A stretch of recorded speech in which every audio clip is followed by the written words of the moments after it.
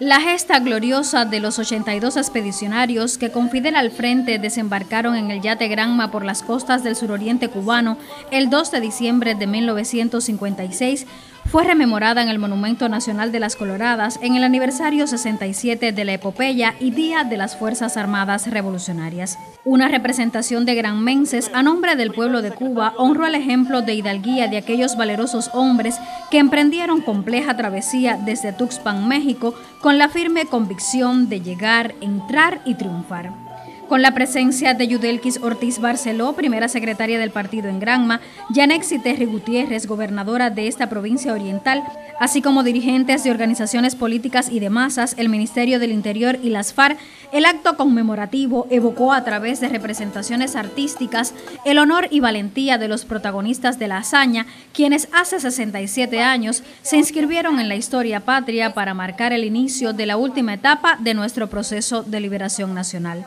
En la cita, varios jóvenes recibieron el carné que los acredita como militantes de la UJC para integrar la vanguardia juvenil granmense. 82 pinos nuevos destacados en el estudio y el trabajo en esta provincia suroriental simbolizaron el altruismo de los expedicionarios del Granma, cuyo ejemplo es guía para las nuevas generaciones de cubanos. Es la manera de nosotros revivir, de reeditar esa historia desde nuestros propios cuerpos, sentir lo que sintieron esos expedicionarios en ese momento. Inculco a todos los jóvenes que reediten esta historia, que reeditar esta historia todos los años es muy bonita. En el acto conmemorativo por el aniversario 67 de la expedición del Granma, se realizó la convocatoria a la jornada de esfuerzo decisivo para celebrar el aniversario 65 del triunfo de la revolución el próximo primero de enero.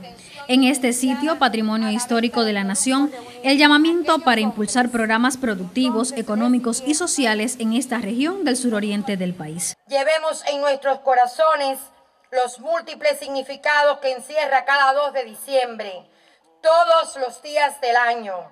Renovemos con fuerza suficiente nuestro compromiso con el futuro. El partido, inmortal como las ideas sembradas en esta tierra por Fidel, nos convoca a jornada de esfuerzo decisivo. La convocatoria de la dirección del partido es a trabajar duro, a los cuadros, al gobierno, a las organizaciones políticas y de masas. Le corresponden encabezar la batalla de nuestro pueblo en esta jornada. Demostremos una vez más el sí se puede y el siempre se podrá, al que nos convocan Fidel y Raúl. Estamos convencidos que cada granmense reclamará su puesto de vanguardia en esta jornada. Es el 2 de diciembre cada año, fecha trascendente para los cubanos. Es el homenaje que desde Las Coloradas, sitio por donde desembarcaron los 82 expedicionarios del Granma, enaltece la gesta que en 1956 abrió las puertas de la libertad. Inés Castro Machado para el Sistema Informativo de la Televisión en Granma.